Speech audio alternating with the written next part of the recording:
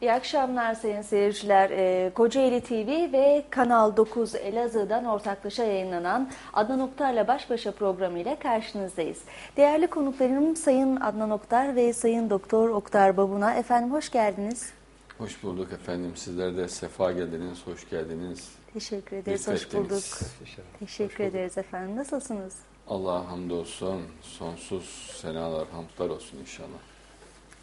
Evet, e, az önce programımız vardı. Şimdi e, tekrar devam ediyoruz. Ben yeni katıldım ama az önce e, yine DEM TV'de e, yayınlanan Evet. bir programınız vardı. Nasıl geçti efendim? Ben bir kısmını izledim ama Evet, o da çok güzel oluyor çünkü mm, ilginç sorular soruyorlar.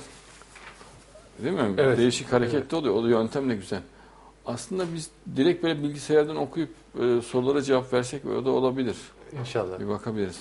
Gerçi bu da hoş. Yani çünkü burada da aynı şey ama o da Evet. değişik bir metot yani iyi İnşallah. olabilir. Evet. inşallah. Evet birçok e, sorumuz var. Yine izleyicilerimizin sizlere Evet. yöneltmek istediği. Nasıl yapalım? Dilerseniz e, Oktar hocamın e, geniş rasih ilminden Estağfurullah. e, istifade edelim inşallah. inşallah. Her şeyi sizden öğrendik inşallah. Evet. Kur'an'dan ve sizden. Evet. İnşallah. Ee, hocamızın kitaplarından Bombardıman Böceği'nden bahsedelim mi hocam? Olur mu? Şahane olur. Şahane Bu- bu, keratadan. Böcek çok e, ilginç. E, yani yaratılış harikası. İlginç değil mi? Allah affetsin. 2 santimetre boyunda vücudunda muazzam kimya bilgisine sahip bir reaksiyon meydana getiriyor. İki ayrı madde var. Bunları, iki ayrı maddeyi, e, bunlar hidrojen peroksit ve hidrokinon denen kimyasal maddeler. Bir yakma odası denen bir bölümünde vücudunun bir araya getiriyor. Bu iki madde bir araya geldiği zaman 100 derece ısıyla son derece yakıcı ve tahrip edici bir madde meydana geliyor. Ama kendi vücuduna zarar vermeden bunu püskürterek e, düşmanının etkisiz hale getiriyor. Ya bu e, bir kere inanılmaz kimya bilgisi Tabii. gerektiriyor. Çünkü bu maddelerin bir araya gelince böyle bir tahripkar silah olacağını kimse bilmez. Çok uzman kimyager olmak lazım ya da bunun e, örneğini bilmek lazım. Ve kendi vücuduna zarar vermiyor her şeyden önemlisi. Bakın bu son derece önemli çünkü Evet. dışarıda bakın çok son derece yakıcı ve güçlü e, tahripkar etkisi var. Fakat kendi vücudunda zarar meydana getirmiyor. İşte bu kusursuz bir yaratılış. E, kimyasal maddeler neler dedin sen? Hidrojen pero- e, peroksit ve hidrokinon. Yani bunun kimya laboratuvarlarını bile insanlar zor ediyor. Yani Evet. çok özel maddeler bunlar. Özel kimyevi maddeler. Bunları ayrı ayrı elde ediyor değil mi vücudunda? Evet.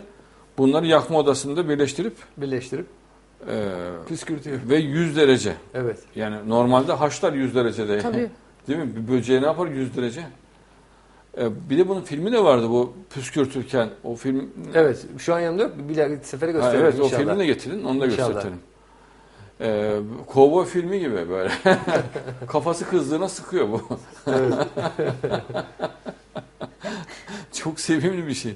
Pırıl pırıl vernikli gibi. Üstelik e, mesela bunun e, değil mi spermde e, dişi böceğe onu yüklüyor ve aynı özellikler onda da var.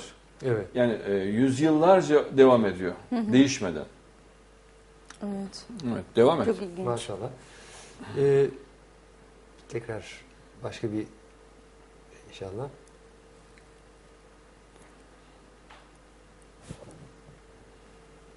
Evet. e, şimdi bakın burada e, bunlar gördüğünüz ak yuvarlar. Damarların içinde kan akışını gösteriyor. Ak yuvarlar son derece ağır damar yüzeyinde hareket ediyorlar. Bakın bu son derece önemli. Şundan dolayı damar duvarından sarkan zincirlerle ak yuvarların zincirleri birbirine tutunuyor. Sonra boşalıyor ve bu şekilde ak yuvarlar bu gördüğünüz ak yuvarlar damar yuvarında yüzeyinde tutuna tutuna ilerliyorlar. Halbuki al yuvarlar kanla birlikte yıldırım hızıyla akıyor. Evet. Bu son derece önemli. Bakın neden önemli?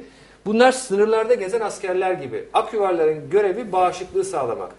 Damar duvarında ağır ağır hareketlerle ilerliyorlar. Yani sınırda ağır ağır devreye gezen askerler gibi. Diğer hücreler akıp gidiyor. Bu şundan dolayı önemli. Herhangi bir e, dış tehlike olduğu zaman, bir mikrop girdiği Hı, zaman vücuda ya da bir giriyor. virüs ya da Değil bağışıklıkla ilgili bir olay olduğu zaman hemen anında müdahale edebilmeleri için. Bunun da yapısını sağlayan o gördüğünüz zincirler var ya, birinin zinciri diğerine tutunuyor. Yuvarlandığında kurtuluyor, yenisine tutunuyor. Onun için ağır ağır ilerliyor. Bakın bu son derece büyük bir yaratılış Evet. harikası. Allah'ın bir örnek e, edinmeksizin yaratan bedi sıfatı var inşallah. E, ve yaratılış e, mucizesi. Devamında bunun devamını anlatacağım. Ee, devamında gelişen olaylar da var inşallah. S- Evet. Sen bir daha göstersene o baştan. Hakikaten çok ilginç ama orada yavaş yavaş ilerleyip e, ihtiyaç olduğu anda devreye girmesi. Evet. Harvard Üniversitesi falan nedir o kadar böyle. Yanlışlıkla çıktı o benim. Bakın al yuvarlar hızla akıp gidiyor. Ak yuvarlar damarın yüzeyinde yavaş yavaş yuvarlanarak, Yuvarlanarak ilerliyorlar. ilerliyor, evet. Kan hızıyla ilerlemiyorlar. Kan akıp gidiyor o sırada. Bakın şundan dolayı zincirler sarkıyor damar yüzeyinden. Bunlar da ak yuvarların zincirleri. Birbirine tutunuyorlar bunlar bakın. Gördüğünüz gibi Evet. bu canlandırması. Son derece ağır hareketlerle kanın hızından çok daha yavaş bir hızla, akma hızından yavaş bir hızla bakın kurtuluyor tekrar asılıyor. İlerleyerek hareket ediyorlar. İşte bu bu şekilde bir e, devreye gezmiş oluyorlar ve bir e, dış tehlike olduğu anda müdahale, müdahale edebilmek için. için. Bu müdahalede çok büyük aşamaları var. İsterseniz ona da hemen şu anda aslında değinebiliriz. Evet bakın kemokin diye bir madde salgılanıyor. Bu maddenin salgılanmasıyla bazı e, alıcılar üzerinde e, proteinler aktif hale geçiyor. Bunlar protein yapıları. Bu hücre zarı gördüğünüz hücre zarının üzerinde bir takım proteinler aktif hale geçiyor. Bu tehlike sinyali. Ak yuvarların o bölgede e, bir takım özellikler kazanmasını sağlıyor. Bakın şimdi göreceğiz hep birlikte. Bu proteinlerin aktif hale geçmesiyle ki bu me- mesela bir mikrop girdiğinde, virüs girdiğinde ya da yabancı bir madde girdiğinde ak yuvarlar bu şekilde değişik özellikler kazanıyorlar. Bakın proteinler aktif hale geldi. Birbirlerine bağlanıyorlar.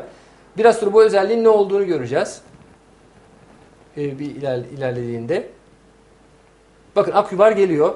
Damar duvarında birdenbire aküvarı durduruyor bakın bu özellikler. Aküvar birdenbire çok akışkan bir hale geliyor.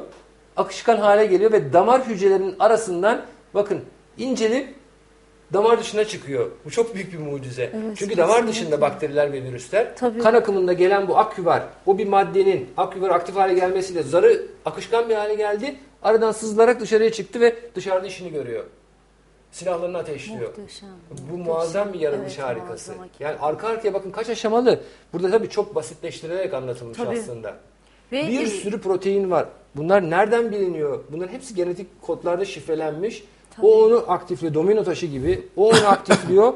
Bütün akışkanlığı değişiyor. Aradan dışarı çıkıyor. ve düzenli bir şekilde devam Ve orada savaşa bu. başlıyor dışarıda. Değil mi? Hakikaten Bunların tek bir tanesi bile iman etmek için yeterli. Aklı başında bir insan için. Bir de benim Oktar hocam hiç aklımın olmadığı şeylerden bir tanesi. Şimdi biz ayakta duruyoruz mesela e, 100 kiloluk, 70-80 kiloluk insan. Ayak tabanının altı da kemik var biliyorsun. Topuk kemiği var. Ve onun altında da bir et kısmı var, Evet. topuk kısmı var. Orada kılcal damarlar var değil Var. mi? İnce. Evet. E bu kadar insan onu bastırıyor. O kılcal damarlar hiçbir şey dinlemeyip yine Devam ediyorlar. e, faaliyetlerine devam ediyor değil mi? O kadar basıncın altında. Ya öyle bir boru yapılsa, oraya sen istediğin kadar basınçtan hava, e, şey ver, sıvı ver. Ya o boru pestil gibi ezilir ve oradan hiçbir sıvı falan hiçbir şey geçmez. Geçmez. Bir de kan da öyle o kadar şey değil yani akışkanlığı değil mi? O kadar güçlü olan bir şey de değil, Değil, yani. evet. Evet ağdalı bir şey. O kadar basınç bak kemik kemikle yerin arasında sıkışıyor. Bana mısın demiyor orada. Çok rahat hayatiyetini devam ettiriyor. Hücreleri gayet rahat besleniyorlar. Bunu nasıl açıklıyoruz? Hiçbir izah yok hocam inşallah. Yok Dediğiniz değil mi? Yok. Maşallah. Maşallah. maşallah. Allah'ın yaratma sanatı maşallah. Şimdi Dem TV'den sonra bizim ne kadar vaktimiz var? Arkadaşlarımız Ha, bir saat. Bir saat zamanımız Hmm, varmış. maşallah. Oktar hocam anlat anlat sen çok şahane şeyler anlatıyorsun. Şimdi hocam dün de bahsetmiştim. Ee, bu e, mavi kelebek var. Mavi kelebek e, yumurtluyor. Bunlardan e, tırtıllar meydana geliyor. Bu tırtıllar yaprakların üzerinde meydana geliyorlar. Bu tırtıllar diğer tırtıllardan farklı olarak zamanı geldiğinde kendini bırakıp yere düşüyor.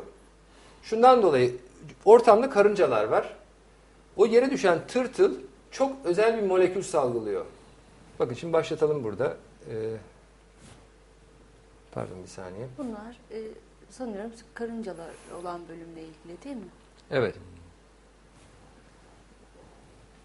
Bakın görüyorsunuz e, karıncalar var ortamda. Karıncalar o yere düşen tırtılları onun salgıladığı özel bir molekülden dolayı kendi yavrusu zannediyor.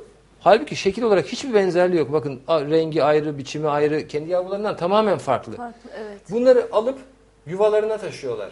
Kendi yavrusu ve kendi yavrularıyla birlikte bebekleriyle bakın görüyorsunuz koskoca tırtılı e, bu Sürtüyor, sürtüyor, evet anlatanın elinde. çalışıyor. Onu alıp yuvaya götürüyor ve bakmaya başlıyorlar bunlara. Aa çok ilginç. Yani diğer bebekleriyle birlikte hatta kendi bebekleri özel bir çığlık meydana getiriyor. O e, çığlığın aynısını bunlar da taklit edebiliyor. Bu şekilde beslenme saatini bildiriyor. O çığlıkla beslenmesini e, sağlıyor. Bebek gibi ağlıyor yani. Evet. Fakat çok önemli bir şey bir yaban arısı var. Yaban arısı hangi yuvada e, bu tırtılların olduğunu kestirebiliyor. Böyle bir özelliği var. Nasıl olduğu bilinmiyor. Bakın yuvaya girdi. Yuvaya girdiği anda karıncalar saldırıyor doğal olarak üzerine yabancı biri girdiği için. Fakat tam o anda bu yaban arısı özel bir molekül sağlıyor, salgılıyor. O molekülde karıncaları birbirine düşürüyor. Bu sefer birbirleriyle savaşmaya başlıyorlar. Bırakıyorlar çok yaban arısını. Bu son derece ilginç. Bakın yaban arısını rahat bıraktılar. Yaban arısı da bu ortamda onları birbirine düşürüp gidiyor. Bu tırtılları e, yumurtalarını, kozaların içerisinde kendi yumurtalarını bırakmaya başlıyor. Yani bu yaratılış mucizesi üstüne yaratılış Evet. mucizesi. Allah'ın sanatı. Bakın burada bir tanesini enjekte ediyor kendi yumurtasını. Karıncalar o sırada birbirini yiyor orada o salgıladığı molekülden dolayı. Neden olduğu anlaşılmıyor. Birdenbire birbirlerine saldırıyorlar. Dövüşmeye başlıyorlar birbirleriyle. Peki neden kendi yumurtasını o, tırtıla enjekte ediyor? O kozanın içinde büyüyor onun yumurtası işte. O Ya kozadan- Hazır gıda Ha, olduğu için. Evet, Evet. hazır ortam onun için. Onun için de ideal bir ortam meydana gelmiş oluyor. O e, kozadan daha sonra t- e, kelebek çıkmıyor, yaban arısı çıkıyor. Aa çok ilginç. Yani bu mucize üstüne mucize. Bakın. Bak onlar kapışmaya devam ediyorlar. Evet, kavuşmaya devam ediyorlar. Orada anarşi çıktı. O da işini görüyor o anda. O, hiçbiri dokunmuyor ona. Normalde onun üzerine saldırmaları gerekiyor ki ilk, İlk girdiğinde, girdiğinde evet, saldırıyorlar. O molekül salgılandığı anda birbirlerini yemeye başlıyorlar. Ve bakın gene çok enjekte etti. ilginç. Ee, evet. Daha sonra o kozalardan da e, yaban arısı çıkıyor. Kelebek yerine. Şimdi de olay yerinden Evet. ayrılıyor. Olay yerinden ayrılıyor. Olay yerinden ayrılınca normal hayat bunlar normal hayata dönüyorlar. Birbirlerini bırakıyorlar. Gene e, o yumurtanın enjekte edildiği e, tırtılları beslemeye devam ediyorlar aynı şekilde. Kendi yavrusu zannediyor yine. Yani hayat tamamen normale dönüyor Normale çıktığı dönüyor. anda. Ya Onu bir kere beslemeleri çok acayip Evet, yani. çok Evet. acayip. Yani, onun ne normalde hayvanı bilmez yer. Ama Tabii. bilakis onu besliyor. Ona şefkat gösteriyor. Evet. Kozalardan şimdi e, kelebek çıkma zamanı geldi. Bazı kozalardan kelebek çıkıyor. Onun yumurtasını koyduğu kozalardan da yaban arısı çıkıyor. Ne kadar enteresan. Ya orada mesela bu kelebeğin çıkması da zaten çok çok acayip. evet. yani bir bir canlıdan başka bir canlı daha oluyor arkasından. Evet. Baksanıza ne kadar. Bakın çıktı içinden.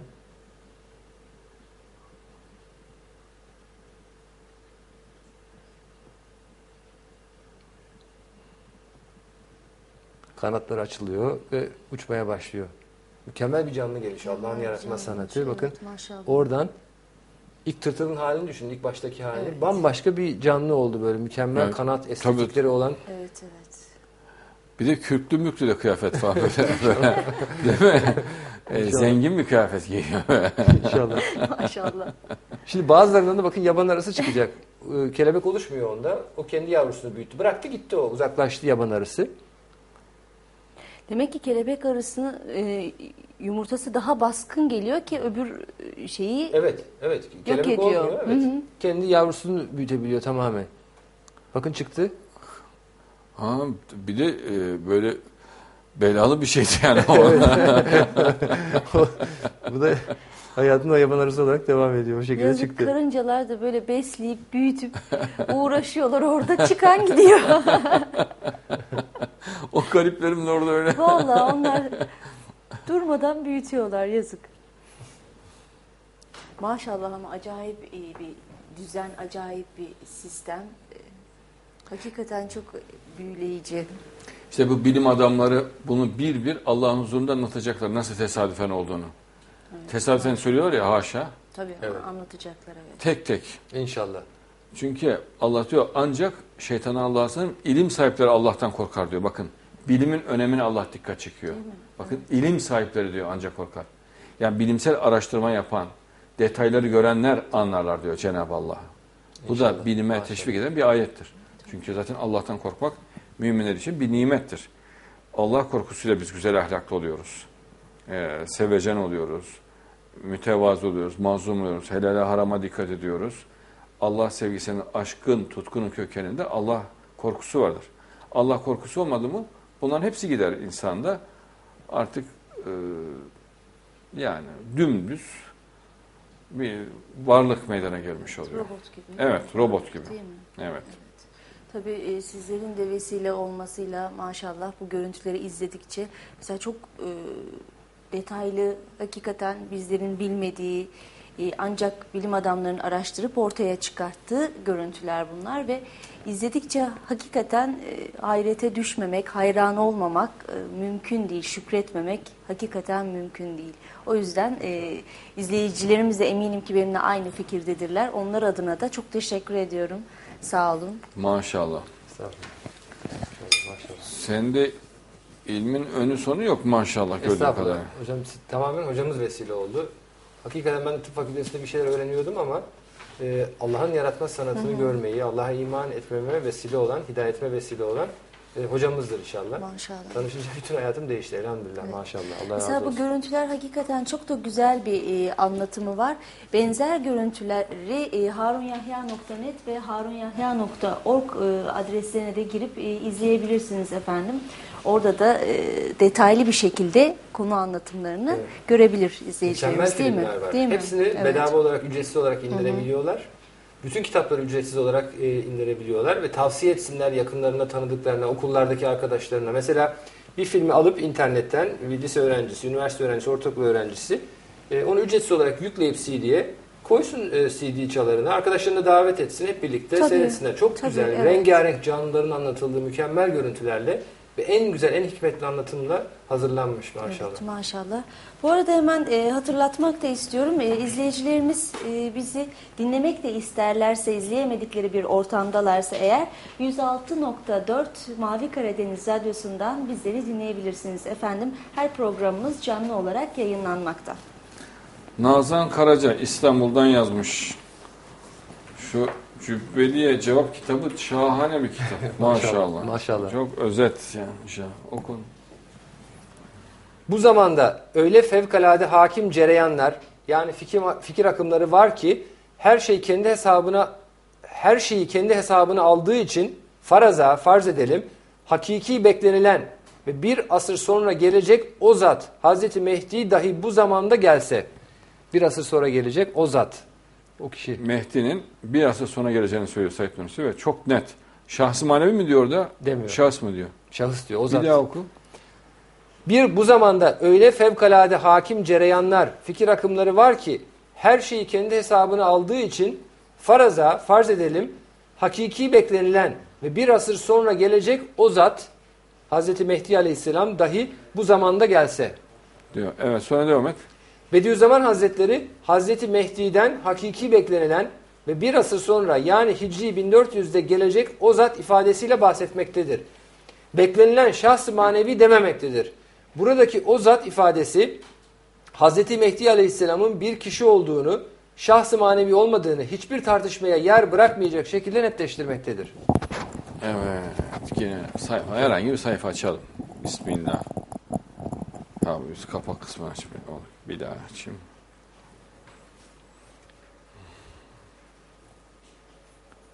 Zeliha Demir Hatay. Çok şahane bir şey var. Uzun uzun anlatmış. Şöyle sakin sakin güzelce bir oku bakalım. Zeliha Dem Demir de var. Evet, evet. Bediüzzaman Said Nursi Hazretleri Risale-i Nur külliyatında defalarca Hazreti Mehdi'nin şahsi manevi değil tek bir kişi bir zat olacağını belirtmiştir. Buna rağmen bu konuyu anlamazdan gelip daha hala Cübbeli Ahmet gibi konuyu bambaşka bir hale getiriyorlar. Bediüzzaman'ın aşağıdaki sözü Hazreti Mehdi şahsı manevi olacaktır diyenlerin büyük bir yanılgı içinde olduklarını göstermektedir. Ona karşı Ali Beyt Nebevi'nin e, Nebevi'nin sils- Ali Beyt-i Nebevi. Ali, Ali Beyt Nebevi Yani Peygamber Efendimizin e, güzel soyu. Evet. silsile-i nuranisine yani peygamberimizin nurani soyuna bağlanan ehli velayet velilerin ve ehli kemalin yani kamil iman sahiplerinin başına geçecek yani lider olacak olan Ali Beyt'ten Muhammed Hazreti Mehdi isminde bir zat-ı nurani yani nurlu bir şahıs o Süfyan'ın şahsı manevisi olan cereyan-ı münafikaneyi yani münafıklık akımını öldürüp yani etkisiz hale getirip dağıtacaktır. Evet. Devam ediyor mu? Evet. Bediüzzaman bu sözünde Hazreti Mehdi'nin Ali Beyt'ten olduğunu bildiriyor. Ali Beyt şahsı manevi olamaz. Muhammed Hazreti Mehdi isminde bir zat-ı nurani şeklinde isim bildiriyor. Muhammed Hazreti Mehdi Allah'ın Hazreti Mehdi'ye Resulullah yoluyla verdiği isimdir. Muhammed Hazreti Mehdi ismi şahs-ı manevinin ismi olamaz. Şahsa verilmiş bir isimdir. Bir zat-ı nurani diyor. Burada bir kelimesi de zat kelimesi de Bediüzzaman'ın tek bir şahıstan bahsettiğini gösteriyor. Başa geçecek, münafıklık akımını etkisiz hale getirip dağıtacak diye bildiriyor. Ateist, materyalist, Darwinist sistemi dağıtacak ve lider olup başa geçecek bir şahıs olduğunu bildiriyor. Evet. Maşallah çok net. Ee, Böylelikle e, hakikaten Hazreti Mehdi'nin bir şahıs olduğunu da e, açık ve net ifadelerle Said Nursi Hazretleri zaten bunu belirtmişler net bir ifadeyle. Burada da e, kitapta da açık bir Evet. şekilde Cübbeli Hoca'ya cevap olmuş. evet. Haluk Hamdi Olgun İstanbul'dan. Oku bakalım. Hemen bir sayfa öncesi. Ben de onlara demiştim. Ben kendimi Seyit yani peygamberimizin soyundan bilemiyorum. Bu zamanda nesiller bilinmiyor. Halbuki ahir zamanın o büyük şahsı Ali Beyt'ten yani peygamberimizin ailesinden olacaktır. Siz olsanız Said Nursi Hazretlerinin bu sözünden Hazreti Mehdi'nin tek bir zat olduğunu mu yoksa şahsı manevi olduğunu mu anlarsınız? Said Nursi Hazretleri o büyük şahsı derken sizce bir şahsı maneviden mi yoksa tek bir kişiden mi bahsetmiştir? Ayrıca Said Nursi Hazretleri kendisinin Seyit olmadığını, Hazreti Mehdi'nin Seyit olacağını bildirerek kendisinin Mehdi olduğunu iddia edenlere de cevap vermektedir. İnşallah. Evet. Bak görüyorsunuz kitap şahane dedi. Evet maşallah. Nereye yazsak çok şahane özlü bilgi var. Evet. Ee, mesela bu Emre Ataoğlu Hatay'dan yazmış. Bunu da okuyabilirsin.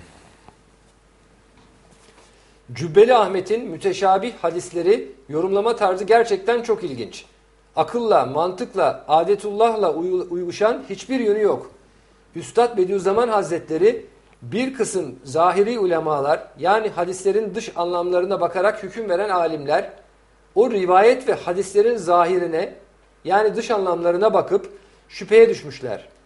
Veya sıhhatini, doğruluğunu hurafe gibi masallarda anlatılan gerçek dışı bir şey gibi yanlış e, inkar edip veya hurafevari bir mana verip adeta muhal bir sureti yani adeta imkansız aklın vicdani kanaatle karar verme özelliğini ortadan kaldıracak özelliklerde bir şahsı bekler bir tarzda anlattıkları için avamı müslimine yani böyle metafizik açıklamalara inanmada zorlanacakları veya bu sebeple hiç inanmayacakları için halktan bilgisi olmayan Müslümanlara imani yönden zarar verirler diyor. Doğru. Yani zahiri anlamlarına bakarak rivayet edilen hadislerin dış anlamlarına bakarak halbuki müteşabih anlamları var bunların inşallah. Evet. O zaman çok değişik tabii insanların imanının e, kalkmasına vesile olacak anlamlar çıkıyor. Zarar verirler diyor üstad inşallah. Ya mesela ne diyor? Herkes bütün Müslümanın bahçesinin önünden 100 metrelik 5 metre çapında som altından sütunlar fışkıracak diyor. Her yerde. Bu İstanbul'un yerle bir olması demektir. Tabii. Bahçelerin öyle altın fışkı- yani hayat durur. Evet. Bir de o altınlar baş belası olur insanın. Değil mi? Pakistan'da, Ürdün'de, Suriye, Libya her yer düşün. Çöl möl her yer altın fışkırıyor onun dediğine göre.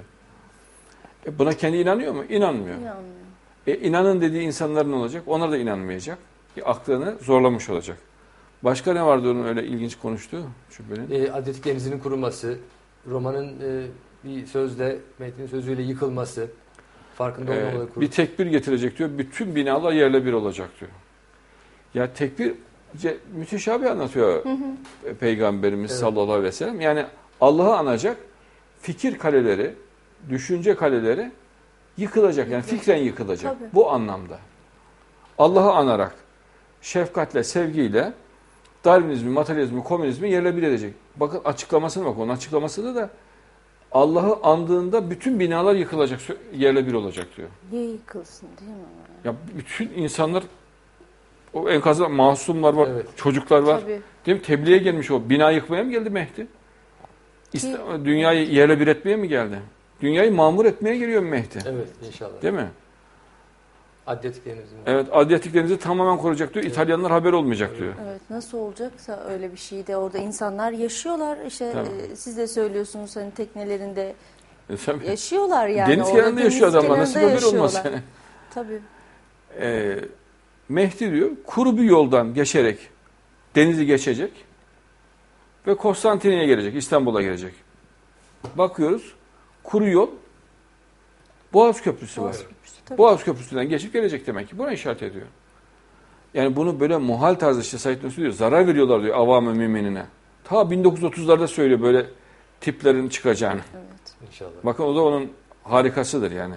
Keramet göstertiyor inşallah. İnşallah. Ben bir kısım zahir ulemalar yani her şey zahire göre değerlenir ulemalar. O rivayet ve hadislerin zahirine bakıp şüpheye düşmüşler veya sıhhatini e, inkar ediyorlar. Mesela yok hadis doğru değil diyorlar bakıyor. Veyahut inkar edip veya hurafe vari bir mana verip işte Cübbeli'nin yaptığı gibi. E, bekler bir tarzda avam Müslümine zarar verirler diyor. Yani imanlarını kaybediyor. Ondan sonra diyor ki işte e, bunlardan diyor arabasını istesen cemaati terk ederler diyor. Evet. Değil mi? Müzik çalsa oynamaya başlarlar namazda diyor.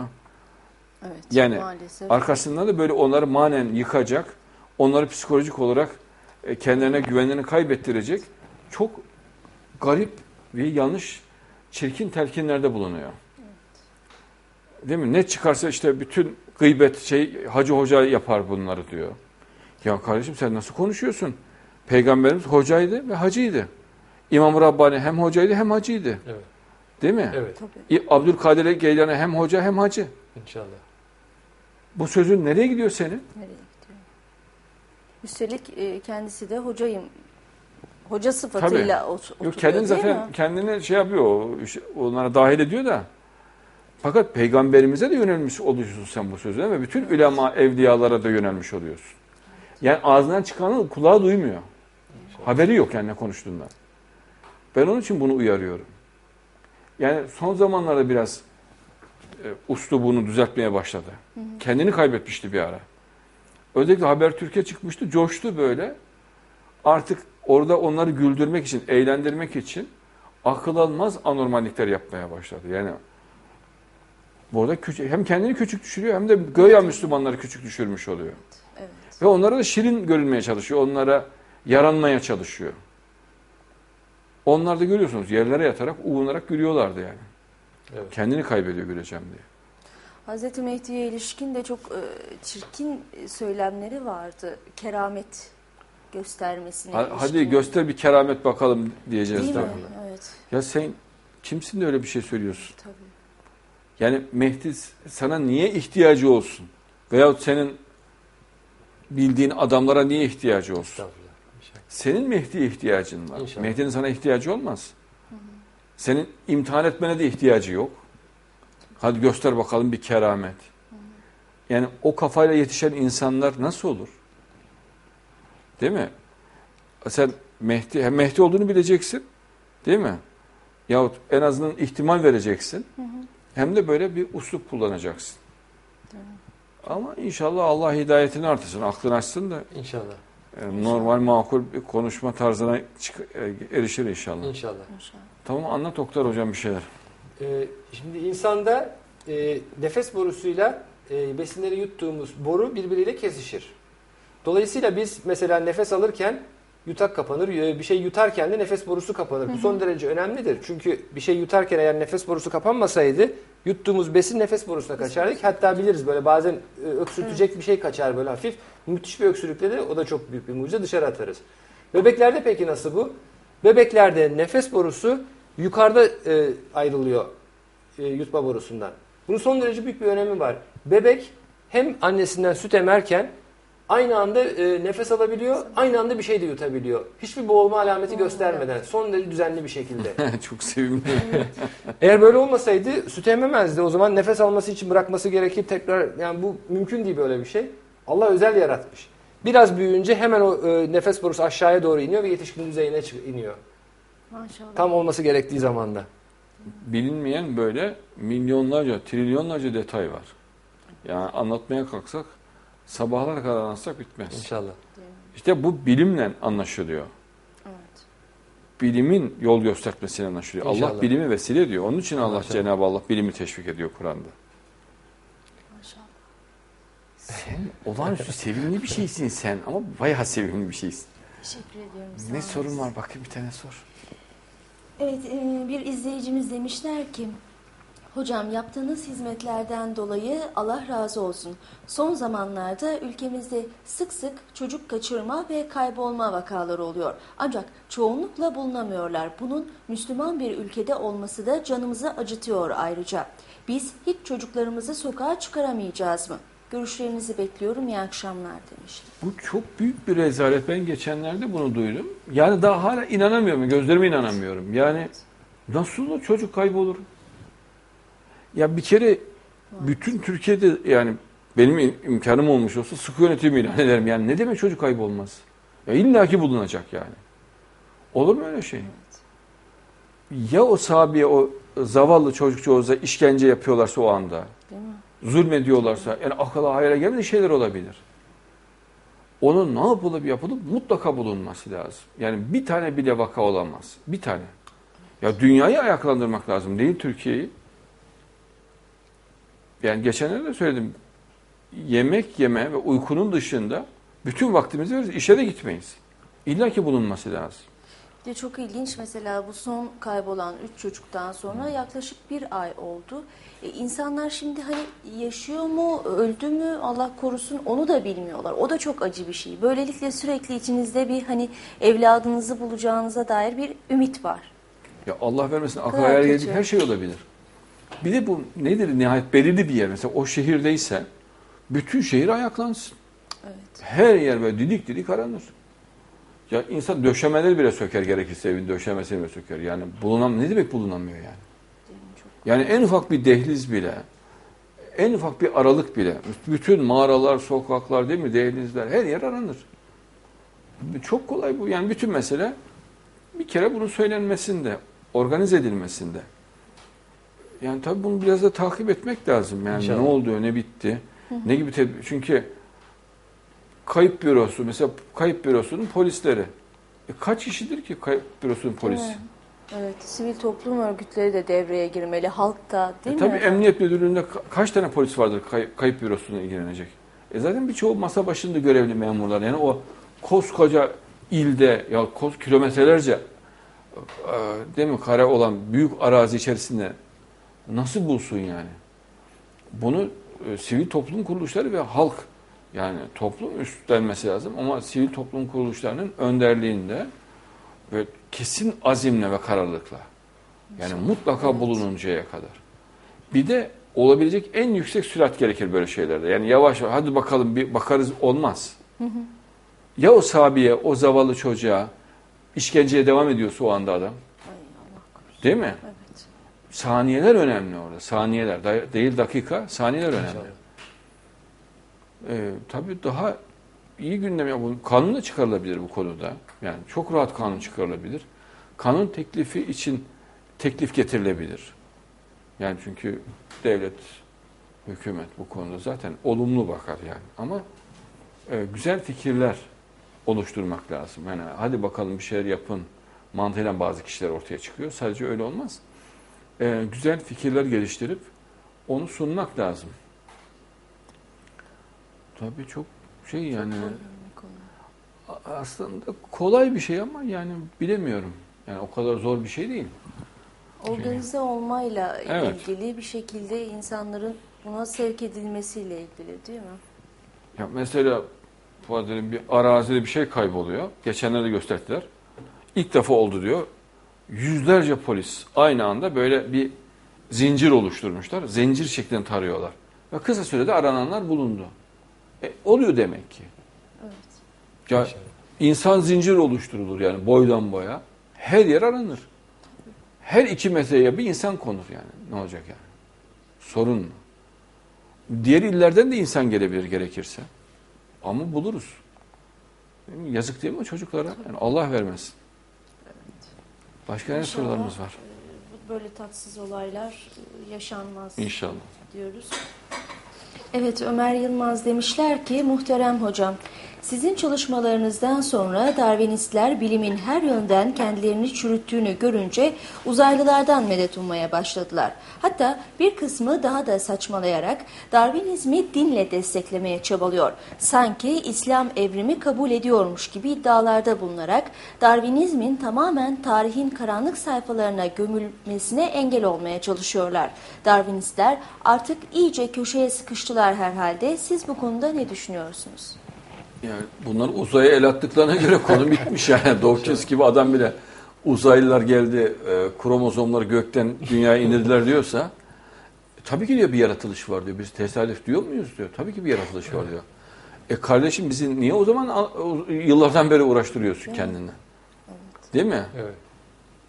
Yani bu nasıl bir mantıktır? Yani yaratılış varsa değil mi? Bir yaratan vardır. Uzaylı muzaylı çocuk gibi koskoca insan kırmızı yanaklarına geçen de bir dans ediyor coşmuş. e, yani e, konuyu artık çocuklanmaya vermiş benim gördüğüm. Yani uzaylıların yaratmayacağı belli. Tabii Yani kesinlikle inanmıyorum yani. yani? Kesinlikle ne Hani olsun. Tabii ya o kadar mükemmel varlıkları kim yarattı? Uzaylı Değil o zaman mi? öyle varsa ya kromozom yaratacak derece kabiliyeti varsa bu kişilerin, bu varlıkların. E onu kim yarattı? Onu söylesene sen. İnşallah. E, Dawkins'e bir şeyler olmuş. Tam anlayamadım ama. e, biliyorsun İngiliz gazetelerinde ilan verdim. Hı hı. Gel tartışalım diye. Hiç Ses e, çıt yok. Değil mi? Arazide. Gidiyor çocuklarla tartışıyor. Ortaokul talebeleriyle.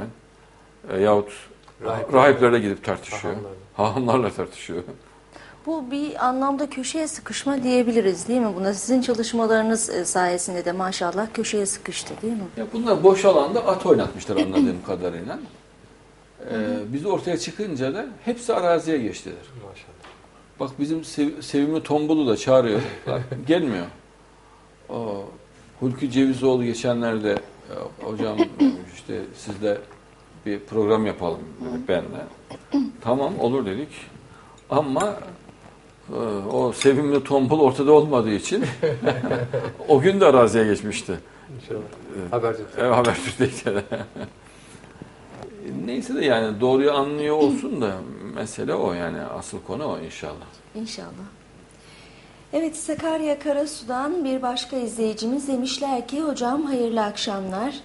Siz geçen röportajlarınızda Hz. İsa'nın geliş alametlerinden birisinin dünya liderlerinin İslam'ı öven sözleri olduğunu söylemiştiniz. Venezuela Devlet Başkanı'nın İslam'ı öven sözleri dikkat çekmektedir. Hocam net olarak sormak istiyorum. Hz. İsa şu an yeryüzünde mi? Hepinizi Allah'a emanet ediyorum. Sizleri çok seviyorum demişler. Teşekkür ederiz. Ya işin doğrusu yani eee, gelmiş de olabilir yani öyle bir şey de var. Yani çünkü bu dünya liderlerinde usluk çok ciddi şekilde değişti. Yani o, e, Hugo Chavez miydi o? Evet. evet. Hugo Chavez, evet. Yani adam Marksist.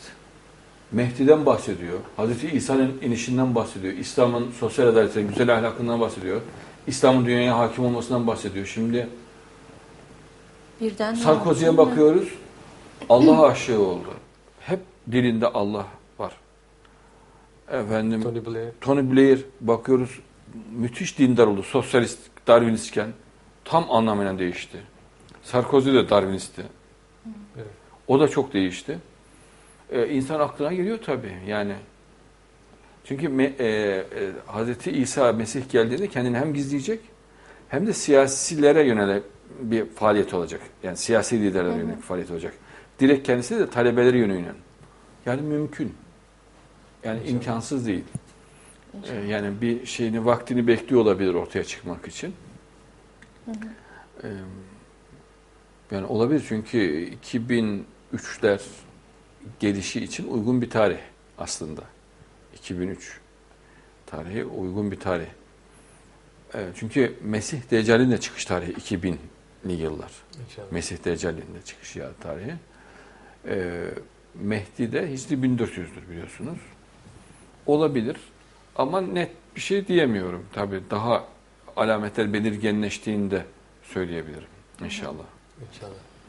Peki Oktay Hocam sen anlatacağın bir şey var mı? Estağfurullah. Bugün görürseniz hocam bir balık var. Onu E göstereyim. anlat hadi bakalım İnşallah. inşallah. Bu e, yelken balığı isimli bir balık. E, ağzı kılıç balığına benziyor. Sırtında böyle bir yüzgeci var. Açtığında sertleşebilen. E, saatte 110 kilometre hızla en fazla sürati yapabilen bir balık bu. E, 110 bu- kilometre. Evet. Maşallah Jaguar gibi yani. Maşallah. Yakalamak mümkün değil. Hatta balıkçılar böyle sıkıştırdığında suyun üzerinde yürüme hareketine benzer hareketler yaparak atlatıyor. Böyle bir balık e, alan yaratma sanatını gösteriyor. Mükemmel tasarımıyla maşallah. maşallah. Sen Yarış burada e, harikası. vurgulamaktan sürati ve Sürati evet. bir de Yaptığın yürü- numaralar. Evet numaralar. Bir de böyle yürüme benzer hareketler yapmaya başlıyor sıkıştırıldığı ya zaman. hayvan ne yapsın canını kurtarmak için sevimli kerata. Ama o da orada gördüğüm kadar balıklara saldırıyordu az değil. Evet. Değil mi? Evet, yemek yemek için. Yemek yemek için. Öğlen yemeği olabilir onun. İnşallah. Maşallah. Evet maşallah. Aman yürüme benzeri hareketler demeyin. Ee, da- evrimciler duydukları zaman e, kılıç balığından geldik derler. Yoksa aman aman yürüme benzeri hareketler demeyin. Bu sefer kılıç Der balığına. yani mümkün onlar. Değil mi? Ne mikroptan bu türetiyorlardı önce bir. Mikrop dediler, balık Solucan. dediler. Evet. Solucan, Solu, Maymun atamız var. solucan diyorlardı. maymun hepsi var. Evet. Balıklar çok şeker varlıklar. Ben e, yazın dedemlerin köyüne giderdim. E, biz balık sepetle balık yakalardık köyün ırmağında. Abimle bizim işimiz gücümüz yoktu. Akşama kadar herkes çalışırdı biz de balık yakalamaktan. e, böyle güzel e, sazan balıklar oluyordu. Onlar bıyıklı oluyor böyle. Yani. Çıkartıyordum. O şoktan gözleri şaşılaşıyordu onun böyle sudan çıktığında. Felaket sevimli böyle ağzında kocaman. Açıp açıp dayanamayıp öpüyordum ona böyle ağzından burnundan. Müthiş sevimli bir şey. Korku şokundan da göz şaşı bakıyordu böyle. ya olan heyecanından mı bilmiyorum. Allah hepsini tabii ayrı bir tatlılıkla yaratıyor mesela. Karıncalar öyle sevimli, kelebekler ayrı sevimli, kuşlar ayrı sevimli. Ya kuşlar muazzam sevimliler. Maşallah. O temizlikleri falan. Hepsi gıcır gıcır dikkat edersen pırıl pırıl. Birçok insan görüyorum ben leş gibi geziniyorlar dışarıda. Karıncalar, kelebekler falan pırıl pırıl. Yani yaşadıkları ortamlar Tabii. çamur, rezalet her türlü ortama giriyorlar. Ama üst baş şam, janti böyle süper gıcır gıcır yani. Tam grand tuvalet geziyorlar böyle. İnşallah. Maşallah. Maşallah. Doktor hocam Estağfurullah. anlat. Bu e, demin e, bebeğin solunumun borusundan bahsettim aşağı inmesi. E, şu eksik kaldı. Çok önemli. O solunum borusunun aşağı inme sebebi o haldeyken konuşamıyor. Bakın tam iki buçuk, üç yaşına geldiğinde konuşma dönemi geldiğinde aşağı iniyor ve hem konuş çünkü o dönemde e, süte de ihtiyacı kalmıyor. Kur'an'da Allah iki sene e, Evet. tavsiye ediliyor inşallah. Allah bildirmiş. İki sene yeterli süt emmesi için. O süre zarfında bu sistemden yararlanıyor. Tam konuşma çağına geldiğinde yani 2 yaşla 3 yaş arasında biliyorsunuz birdenbire konuşmaya başlar. O dönemde aşağıya iniyor. Ya bu mükemmel bir zamanlamayla çok e, inanılmaz bir yara- maşallah Allah'ın yaratma harikası. Ya bizim program çok şahane bence. Gördüğüm kadar Maşallah. normalin de üstünde. Çok faydalı ama çok çok faydalı. Maşallah. Ya bunlar hiç bilinmeyen şeyler. Evet. Tabii. Evet. Ya genel kültür açısından çok çok faydalı. Her yönden çok iyi inşallah. Yani hepimiz bir şekilde yaşıyoruz, e, biliyoruz ama e, mesela diğer doktor arkadaşımız Cihat Bey e, bir programımızda anlatmıştı. Hisle ilgili bir şey. Mesela hani üzerinize bir şey takıyorsunuz veya giyiyorsunuz. Hani bir süre sonra o sizi rahatsız etmiyor. Hani onu taşıdığınızı hissetmiyorsunuz gibi. Mesela nasıl e, zarif bir ayrıntı düşünülmüş. Maşallah, hani biz maşallah. maşallah, rahatsız olmayalım e, üzerimizdeki herhangi bir Maşallah, şeyden diye. Maşallah. O çok dikkatimi çekmişti. Hakikaten bizim için e, çok güzel şeyler Allah Maşallah. vermiş. Şükretmemiz için Maşallah. Maşallah. Kendi vücut seslerimizi de duymuyoruz değil mi biz? Evet. Evet. Nasıl oluyor? O da aynı- yani bu mekanizmayla inşallah Kulaktan mesela sürekli kan akımı var. Hatta yastığa koyduğumuzda böyle bir, bum, bum, bir, bir miktar gelir. Normalde bu sesten hiçbir ses duyamamamız lazım ama olmuyor. Allah'ın dilemesiyle o sesi duymuyoruz. Bu aynı mekanizma, adaptasyon. Sürekli öyle bir ses duysak düşünsenize nasıl olur. Gümp, gümp. Evet sürekli ay sürekli e, kafanızın içinde bir ses. İnşallah. Maşallah. Fena olurdu. Efendim sen o uğurlu, tertemiz, o güzel ellerine aç bir sayfa ver bakayım bana. Buyurun. Hmm, maşallah. Şeytandan Allah'a sığınırım. Görmüyor musun ki size ayetlerinden bazısını göstermesi için gemilerin, gemiler Allah'ın nimetiyle denizde akıp gitmektedir. Ben götürüyorum diyor Allah gemileri. Hiç şüphesiz bunda çok sabreden, çok şükreden için gerçekten ayetler vardır. Bakın, hep sabretmek. Sabırla biz güzel ahlaka kavuşuyoruz. Cennet ahlakı, cennet kişiliği sabırla oluşuyor. İnşallah. Çok şükreden, bir de sürekli Allah'a hamd etmek, verdiği nimetlere. Geçen gün de bu e, sayfa açmıştık. Aynı sayfa çıkmış. İnşallah. Kim ihsanda bulunan biri olarak yüzünü kendine Allah'a teslim ederse artık gerçekten o kopmayan bir kulpa yapışmıştır. Uhretül vuska, hablullahul metin, Allah'ın kopmaz koparılmaz ipi. Kur'an'a sıkı sıkıya sarıldığında, İslam'a sıkı sıkıya sarıldığında insan müthiş bir güvendedir. Müthiş bir rahatlıktadır. Ruhen de, bedenen de. Ama bunu en mükemmel şekilde yapmak lazım. Bakın diyor ki Cenab-ı Allah, bir kulba yapışmıştır. Dokunmuştur demiyor Allah. Yapışmak. Sıkı sıkıya sarılmak. Kur'an'a çok sıkı sarılmak lazım. Diyor ki mesela ben vesveselerim var, sıkıntılarım var şuna. Demek ki sadece dokunuyorsun. Sarıldığında bunlar olmaz. Yani sıkı sıkıya sarılıyorsan bunlar olmaz. İnşallah. İnşallah. Biz onları az bir şey ve zaman olarak yararlandırırız. Sonra onları ağır bir azaba katlandırırız. Yani insanlar böyle gezip tozmak, yemek içmekle e, Allah'ın onları bıraktığını zannediyorlar. Yani halbuki Allah onları bırakmıyor. Allah onları imtihan ediyor. Yani kendisinden uzaksa, Kur'an'dan uzaksa o geçici bir nimet gibi görünüyor ama onun aleyhine olmuş oluyor. Onu daha cehenneme yaklaştıran, e, daha azap çekmesine sebep olan bir vesile olmuş oluyor. Bir daha bir sayfa daha aç ver bakayım inşallah.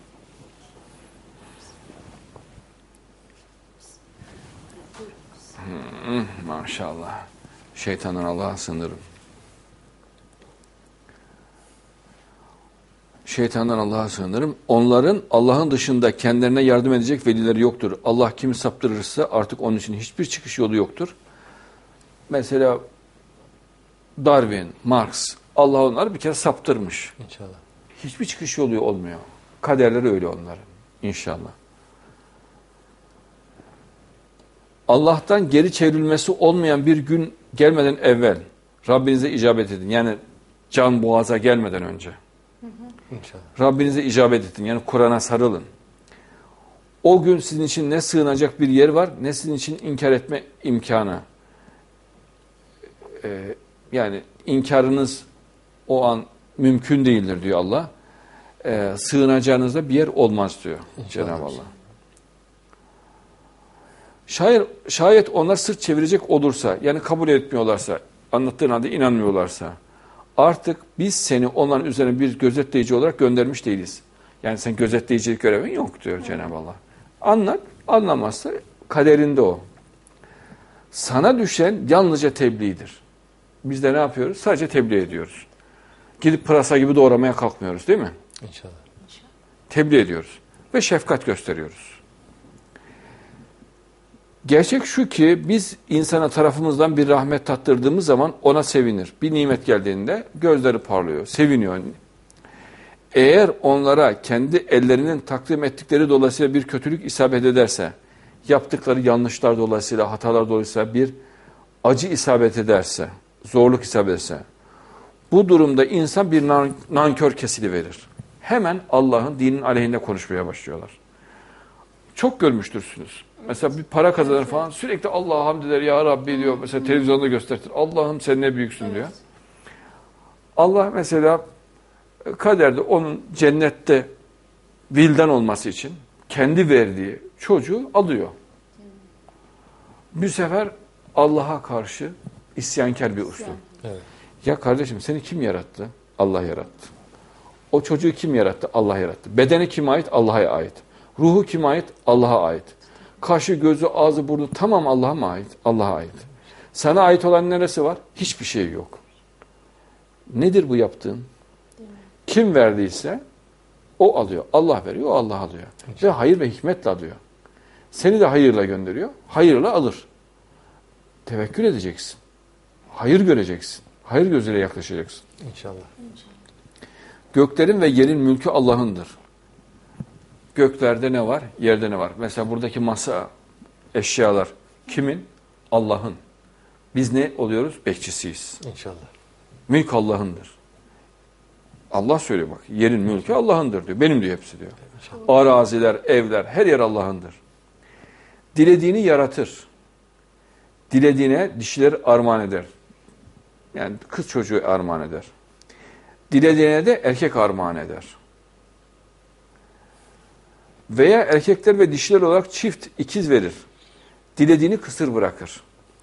Gerçekten o bilendir, güç yetirendir.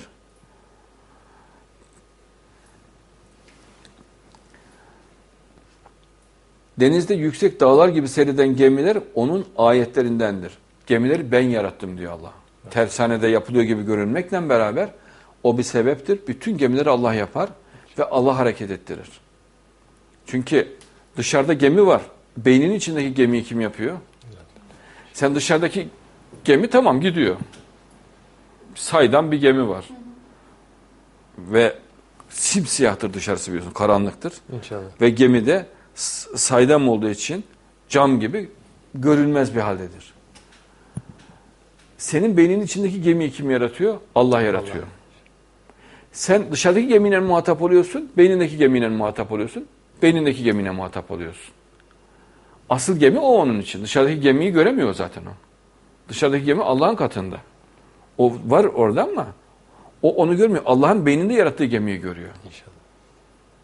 Dışarıdakini de Allah yaratır, beynindekini de Allah yaratır. O saydam, simsiyah karanlık içindeki gemi görüntüsünü yaratan da Allah'tır.